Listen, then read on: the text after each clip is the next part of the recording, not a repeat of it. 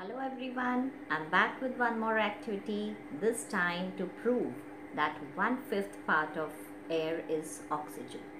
In books, I'm sure you have studied, either they say one-fifth part of air is oxygen or they say 21% of air is oxygen.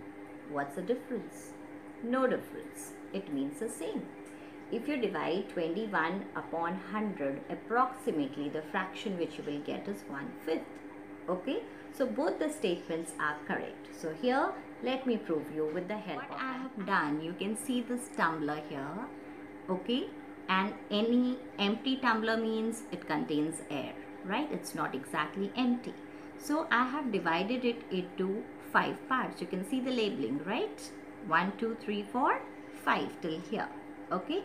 So now I'm going to cover it cover this on a candle a burning candle. Let's see what happens. So for this activity, in addition to the tumbler which I showed you just now this, I have taken a candle. You can see this candle and I have poured some colored water. I'll add a little more.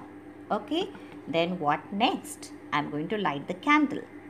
So you can see I have lit the candle and now I'm going to cover it with the tumbler which has been labeled. Right? And focus on the candle. It's getting extinguished and look at the level of water. It is rising. Yeah, yes, see carefully now. It is it has risen and it has risen to the level of number 1. You can see that. Okay, and if we focus on the candle again, the candle has extinguished. So what actually happened?